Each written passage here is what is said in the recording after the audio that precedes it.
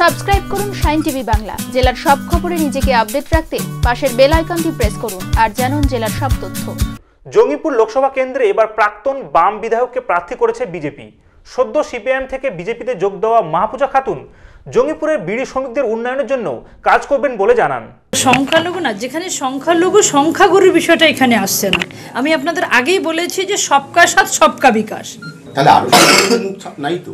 না এখনও তো ঘোষ তেরোটা বাকি আছে ঘোষণা। আজও ঘোষ- আজকে বা আগামীকাল আজকেও ঘোষণা হয়ে যেতে পারে সংখ্যালঘু ক্যান্ডিডেট করতে পারেন। আমাদের রাজ্য নেতৃত্বরা এবং কেন্দ্রীয় নেতৃত্বরা।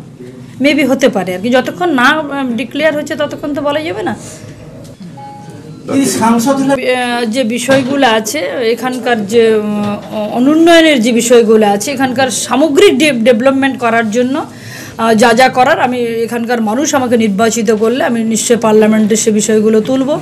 যেখানে বলার সেখানে আমি পৌঁছে দেব। এখানকার সামগ্রিক উন্নয়ন। এলাকাটা তো আপনার শ্রমিক এলাকা। হ্যাঁ শ্রমিকদের জন্য যে বিভিন্ন সেন্ট্রাল গভর্নমেন্টের যে প্রকল্পগুলো আছে সেগুলো এখানে কতখানি হচ্ছে এই মুহূর্তে তো আমি জানি না। আমাকে তো তার তথ্য এখানে সংগ্রহ করব ষোলো আমি লক্ষ নিশ্চয়ই- ভোটের মধ্যে প্রায় ছ লক্ষ বিড়ি শ্রমিক না ওই ওই সংখ্যাটা না তার তার মধ্যে ষোলো লক্ষ ষোলো লক্ষ ষোলো লক্ষ চব্বিশ হাজার ভোটার এখানে। চুরাশিটা গ্রাম পঞ্চায়েত এক হাজার সাতশো বাষট্টিটা বুথ আছে এখানে।